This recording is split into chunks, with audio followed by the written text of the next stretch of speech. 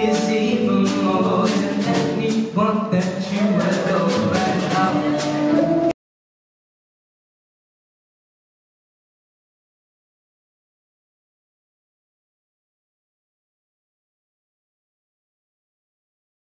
This